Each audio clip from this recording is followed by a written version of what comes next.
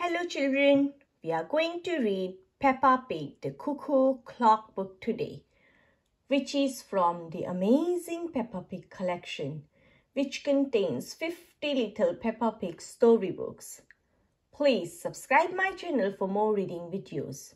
Let's start reading Peppa Pig the Cuckoo Clock. It's early morning and Mummy and Daddy Pig are asleep. Wakey, wakey, cries Peppa. It's time to get up. It's much too early, says Daddy Pig. Don't you know what time is it, is? No, Daddy, our clock doesn't work, replies Peppa. Let me see if I can fix the old cuckoo clock, says Daddy Pig. Why is it called a cuckoo clock? asks Peppa. There is a little wooden bird inside called a cuckoo, replies Mummy Pig. I have never seen the cuckoo, cries Peppa. We stopped winding it a long time ago, explains Daddy Pig. It got a bit annoying.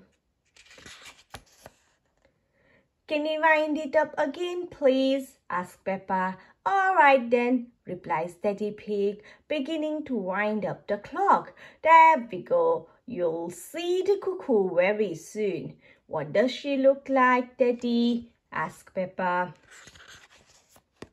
Well, she moves her head like this, says Daddy Pig, pushing his head out, and she flaps her wings like this, Daddy Pig waves his arms up and down. Cuckoo! Ha ha! laughs Peppa and George. George runs off pretending to be a cuckoo. Look, gasps Peppa, hearing a whirring noise. The clock's going to do something. Cuckoo! Wow! shouts Peppa. Oh dear, George was so busy running around pretending to be a cuckoo, he missed the real one. Silly George, cries Peppa, you missed the cuckoo. George bursts into tears. I'll call you when it's time to see the cuckoo again, says Mummy Pig. George goes out to play and soon Mummy Pig cries, Peppa, George, time to see the cuckoo. George runs inside faster than he has ever run before. He gets there just in time to see the cuckoo spring out of the clock. Coo, shouts George. Cuckoo, cries Peppa. Peppa and George love playing cuckoo. It is night time and Peppa and George are very tired. They fall asleep very quickly. Cuckoo, Grant snored Peppa, waking up.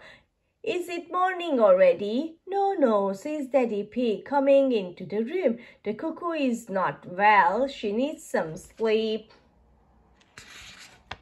Later, after Mummy and Daddy Pig go to bed, Peppa has an idea. She wakes George. Let's wind the cuckoo up and make her feel better, she says, beginning to wind up the clock.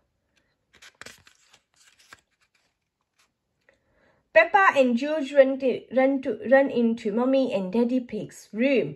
They are asleep. Mummy, Daddy, whispers Peppa, we have got something to show you. We have made the cuckoo better.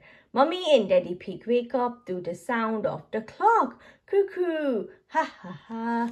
Everyone laughs. All done. Thank you.